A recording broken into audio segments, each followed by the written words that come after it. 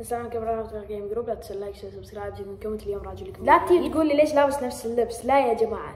أقول لك لا تطيح لا تطيح لا تطيح لا تطيح. okay الكاميرا دقيقة. لا تطيحين. نكمل. يلا. ليش لابس هاللبس يا محمد؟ في عدة فيديوهات ورا بعض. لأن يا جماعة تبون تقولون تبون تعرفون شنو تعبي في اليوم؟ إني بصور خمس مقاطع في اليوم. إي نعم. خمس مقاطع في اليوم تتخيل معاي.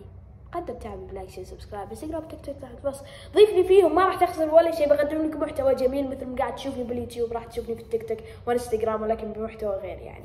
ولكن كرة قدم في أيضا. إذا تحب كرة قدم بصور لك حياتي الشخصية يعني إذا تبي تشوف. راح أتكلم عن أخبار أخبار أخبار أخبار ميركاتو الشتوي مولع يا جماعة نتكلم أخبار شوي نروح على إيطاليا نروح على إنجلترا. نمر شوي على أمريكا هناك في لوس أنجلوس. نشوف الأخبار نشوف الحارس نشوف الجول. لا تنسى like share subscribe. انستغرام تيك توك تيك توك تحت الوصف.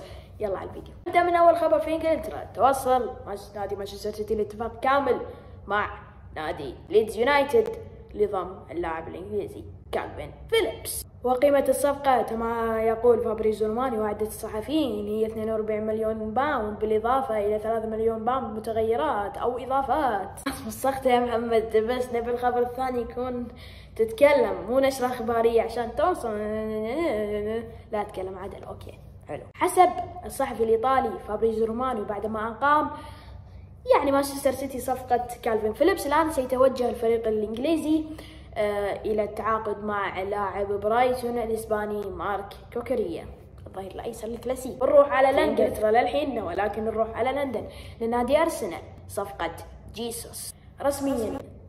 جابرييل خيسوس ينتقل من نادي مانشستر سيتي لنادي أرسنال بقيمة الصفقة تقدر أيضا 45 مليون باوند. ليش أيضا؟ لأن لو كملت آه المتغيرات مالت صفقة كالفين فيليبس راح تصير الصفقة 45 مليون باوند فنقول أيضا يعني قيمة الصفقة يا جماعة ما شاء الله على مانشستر سيتي في الإدارة. يا سلام عليك يا خلدون المبارك ويا سلام عليك يا بيب جوارديولا. شلون تبيعين لاعبين احتياطيين؟ بهذه القيمة. بس صراحة اللاعب مبدع في الوديات مع أرسنال مسجل هاتريك يا جماعة. ونروح للخبر الثالث هو الحارث عاشق الجولف. جارد بيل ينتقل من نادي ريال مدريد الإسباني لنادي لوس أنجلوس الأمريكي بصفقة غريبة صراحة. بل والله قادر إنه يعطي بعد أداء وأفضل وأفضل افضل ولكن بس خلاص يعني اللاعب عقليته عقليته دمرته الخبر الرابع والقوي جدا يعني شوي يهم برشلونة جدا يهم الجماهير أيضا يهم جماهير تشيلسي يهم جماهير برشلونة. الثنائي اللي بينهم حرب صفقات نتكلم عن تشيلسي حدد سعر الظهيرين الإسبانيين القيدوم سيزار اسبليكويتا والقيدوم الآخر ماركوس ألونسو. حدد سعرين اللاعبين نفس السعر. يقدر سعر الاسباني سيزار اسبليكويتا 13 مليون يورو وأيضا ماركوس الونسو كالعادة أيضا كسيزار اسبليكويتا 13 مليون يورو. هل أنت تشوف إن السعر يعني رائع ولا مبالغ فيه؟ أنا بشوف إنه مو مبالغ فيه. فلما نتكلم عن ماركوس الونسو وسيزار اسبليكويتا جودتهم عالية جدا يا جماعة.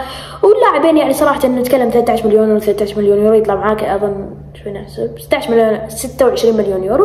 هذا قيمة جيدة يعني صراحة. أنت لما تيجي تدفع يعني خلينا نروح مثلا نتكلم جيسوس لاعب احتياط مانشستر سيتي دافع أرسنال عليه 45 مليون باوند. وأرسنال اللي دافع عليه. أنت مو قادر تدفع 26 مليون يورو على ثنائي الظهيرين غريب جدا يا برشلونة إذا ما الصفقتين فبس شباب أتمنى عجبكم اليوم لا تنسوا like subscribe مقطع سريع خفيف جميل جدا. ما أدري شو مدته ولكن أعطيناكم أربع أخبار جميلة جدا. مرينا على انجلترا على أمريكا على شوية إيطاليا.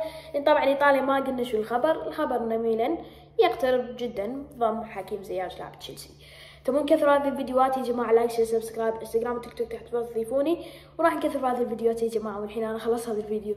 عندي فيديو ثاني راح أروح أصوره نفس اللبس لا تقول نفس اللبس فيديو ثاني. يلا مع السلامة.